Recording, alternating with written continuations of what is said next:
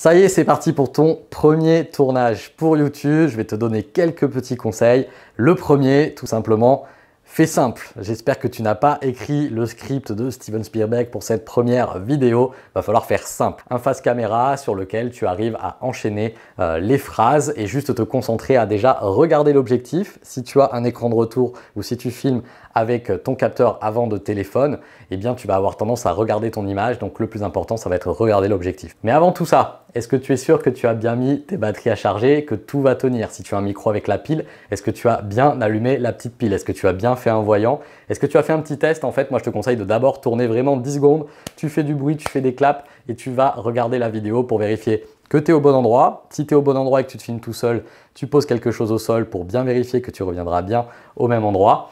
Tu essayes de couper tout ce qui pourrait faire du bruit aux alentours de toi, mais ça, ça va pas louper. Hein. Quelqu'un va sonner à la porte, le voisin va passer l'aspirateur, le chat va gratter à la porte. Enfin, dès qu'on tourne, il faut savoir que même si c'est deux minutes, hein, il y a le réalisateur secret qui vient et qui fait envoyez-moi tous les gros relous pour faire du bruit. C'est obligé et c'est encore pire le jour où tu vas tourner en extérieur, ce qui est peut-être le cas hein, de, ta, de ta première vidéo. Donc tu verras qu'il y aura la tondeuse à gazon, la moto qui passe, les pompiers, tout ça. Mais Show must go on, le top et le meilleur conseil, c'est tu figes le corps quand il se passe quelque chose ou quand il y a un vrai environnement, tu fais le silence, tu te concentres sur la phrase d'après et puis tu reprends. Au montage, tu auras juste à supprimer le silence et ce sera super facile à faire. Donc le silence, c'est le meilleur atout du montage facile dans un deuxième temps. Si tu as des petites notes, si tu as fait des feuilles, des choses comme ça, fais attention à ce que tes yeux ne courent pas sur la feuille parce que tu sais que tu n'as pas la phrase d'après. Donc ça va être vraiment important. Tu finis ta phrase, si tu sais plus ce que tu dois dire après, bah, tu te tais, tu regardes tes notes, tu lis.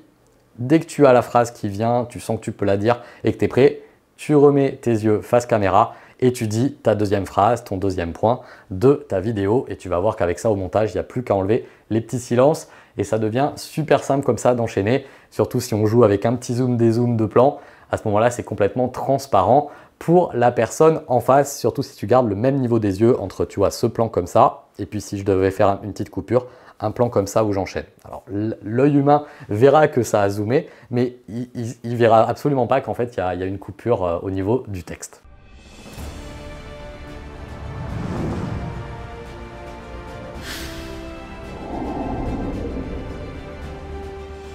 N'oublie pas, il y a une seule personne à la fois qui va regarder ta vidéo. Donc oublie les centaines, les milliers, le monde entier, euh, la notification que les gens vont potentiellement recevoir quand tu vas publier ta première vidéo, parce qu'on n'en est pas là c'est vraiment une personne à la fois qui va regarder ta vidéo et plutôt sur un smartphone dans le creux de sa main. Donc adresse-toi à une personne. Je te conseille de viser un cadrage simple, donc ne pas être comme ça au-dessus euh, pour regarder ton interlocuteur d'au-dessus, mais mettre euh, la caméra ou le smartphone légèrement au-dessus de toi. Voilà ce qu'on appelle en contre-plongée, que ça te regarde légèrement avec une vue de dessus.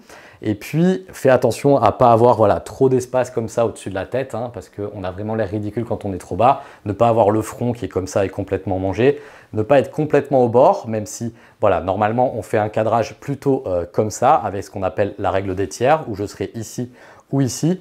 Évidemment, quand on commence à tourner euh, pour YouTube et que on va prendre la vidéo et puis après euh, la poster sur d'autres réseaux sociaux pour faire un format eh bien, carré ou portrait, eh ben, on va finalement finir au centre. Donc c'est pas très grave. Pour ta première vidéo, mets-toi bien au centre, règle bien voilà, la hauteur en haut et en bas, règle bien l'inclinaison de la caméra en contre-plongée.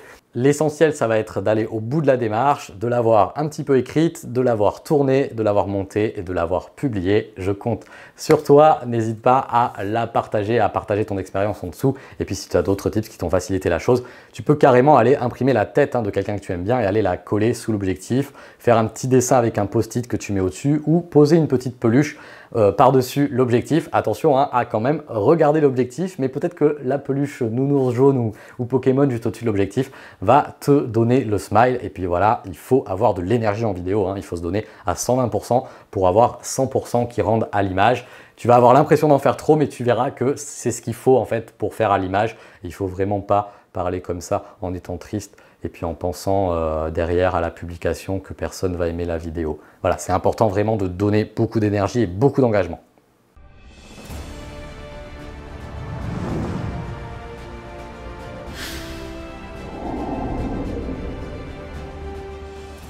Surtout, ne cours pas euh, derrière ta caméra à chaque fois que tu écorches la phrase. Tu appuies, tu lances et puis tu laisses tourner et tu fais ta prise en entier avec ce que je te disais tout à l'heure. Donc si tu rates ta phrase, tu essayes de figer le corps, tu réfléchis à ta phrase ou tu regardes tes notes et quand tu la tiens, tu la refais. Si tu fais plusieurs fois la même phrase, je te conseille de faire pareil des petits silences entre elles parce que ce sera beaucoup plus simple à la coupure, donc d'essayer de ne pas râler à voix haute. Je sais que pour certains, c'est pas facile, mais il faut essayer de ne pas râler à voix haute et de râler intérieurement euh, pour chercher sa phrase.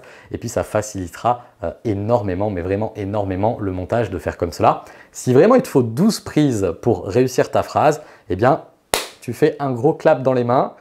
Le clap dans les mains, à la base, il sert vraiment pour synchroniser hein, euh, du son. Si tu as un micro qui enregistre, comme j'ai ici mon dictaphone, et un mauvais son qui enregistre, comme j'ai ici sur la caméra, eh bien, ce qui va me permettre de faire cette synchronisation au montage, ça va être comme ça, ce petit clap qu'on fait au cinéma avec un appareil. Ça marche très bien avec les mains. Et comme ça, au montage, il va y avoir vraiment ces deux petits pics pour pouvoir mettre le magnétophone ici avec le bon son et puis le mauvais son de la caméra. Hop, je les mets comme ça au même niveau. Ça se fait automatiquement quand on a un bon logiciel. DaVinci Resolve sait faire ça et Adobe Premiere sait faire ça aussi.